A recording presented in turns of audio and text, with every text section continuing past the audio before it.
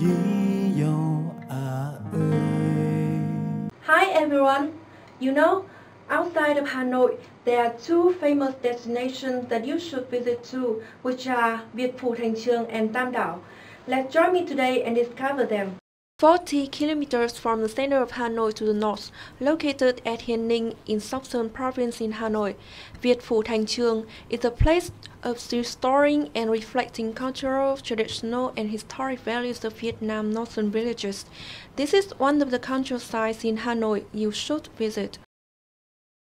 The palace was built on a ground of over 8,000 square meters in 2001 and completed in 2004. Many tourists coming here think that it's a very old historic site. However, it turns out to be the design and work of artist Thành Chương. This is a complex of ancient architectures in order to honor traditional heritage of Vietnamese and was built in a record time. When walking into the first door of the palace, you will immediately feel the atmosphere of quietness and simplicity. Thành Chương is different world, reappearing the old things including doors with the same manner of Tho Ha village or Đường Lâm village, and the same architectural style as in royal tombs and imperial citadel of Huế. The houses here are designed in many different styles and shapes, such as House of Hmong minority or typical three-compartment house of northern people. If you like to discover the artistic values then Long Dinh Theatre is a good choice, which has water puppet shows and is built in a large area and meticulously decorated. Inside the palace, in addition to space of selling art objects and handicrafts, it also has lots of restaurants serving various foods in which there are traditional dishes such as spring rolls, vermicelli, sauerkraut soup, and some kinds of cake.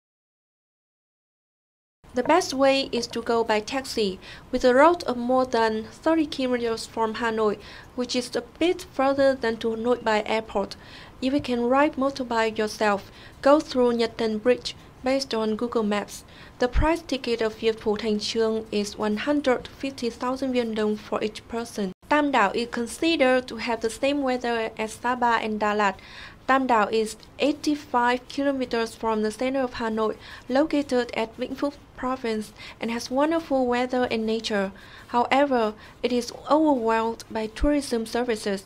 If you have one or two days in Hanoi and want to experience something, then Tam Đảo is the place for you to enjoy and mix yourself with the nature there. Tam Đảo destination is on Tam Đảo Mountain. It is shaped from three high mountains Tam Đảo was first found by French and built in earlier the 19th century. In 1940, it became an urban on a mountain with 145 houses, luxury villas, in which there are up to 60 villas having different architectural style, but nowadays their villas are destroyed.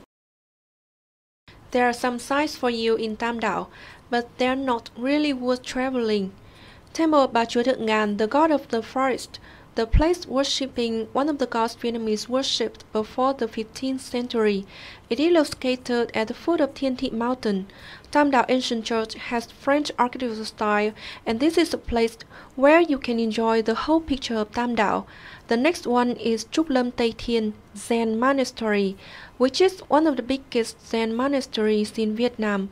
Tam Đảo TV Tower is also situated at the top of Thiên Mountain with a height of 1,375 meters, but it has scenic views along the road. There are some amazing trekking roads in the forest for you to check in daytime. You need a guide to find ways for you and tell that to your hotel's receptionist. You can ride by motorbike or go by car in a road of 80 kilometers. There's no bus or open bus to there. Most of tourists ride their motorbikes to Tam Đảo. Tours of Tam Đảo are not popular with the foreigners. In Tam Đảo, it's always cool in summer and really cold in winter. Many Hanoians prefer to visit it to avoid heat.